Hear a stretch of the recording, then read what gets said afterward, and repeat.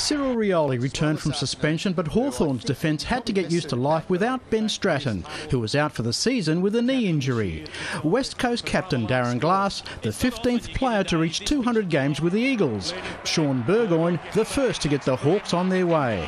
No one's in the square. Thought about opening up the angle, just puts the jets on and bangs it through. First goal of the afternoon. Josh Kennedy found the big sticks with his third attempt before Luke Shuey broke away with only one thing on his mind. He has the flying shot and he drives it through from the impossible angle. But have a look at Luke Shuey here. This is just a great finish. Off a couple of steps to thread the needle.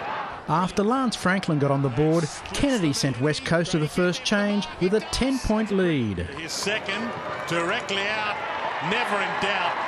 A 50 50 call. They're tied into each other, and I'd rather see that let go. Paved the way for Franklin to land his second from a free kick before Rioli launched one from long distance. From 60, goal square, all the way home.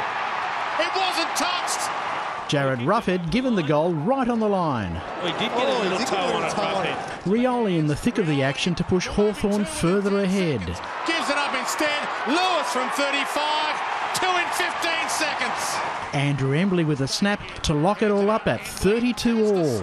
From a stand start, all about the bounce, kind bounce. Darren Glass all in one piece after this collision with Rioli.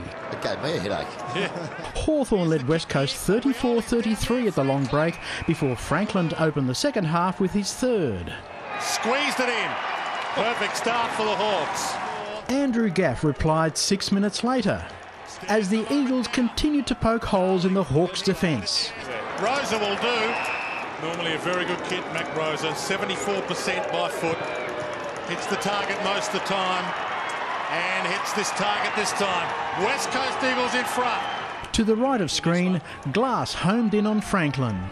Buddy then bounced back to put the Hawks in front 19 seconds into the final quarter. Franklin waltzes in and for some reason wants to bounce it through. Brad Dalziell unable to take advantage of an open goal. If you're going to play on, run in and kick the goal. Franklin with his fifth to open the biggest lead of the game. Brings it back. Awesome! Scott Selwood gave Shane Savage anything but a soft landing before Grant Birchall set up a winning lead. Gives it off Birchall, runs to 45. They're at breaking strain now, the West Coast Eagles. After Franklin followed in with number six, the Eagles eventually found their feet. Collects it and kicks the goal. Gives them life. Kennedy kicked back to back goals to bring the Eagles within range. He's kicked three to cut it to an eight point game. But the Hawks hung on to make it three wins in a row. Full time Hawthorn 10 12 72, West Coast 9 11 65. Yeah, it was a tough gig. They're, they're a quality team, West Coast, and them to travel over and get that close to us was a good team effort by them. And uh, we had to fight hard for the full points, but uh, we're lucky enough to get over the line today. Charles Christian, Big Pond Sport.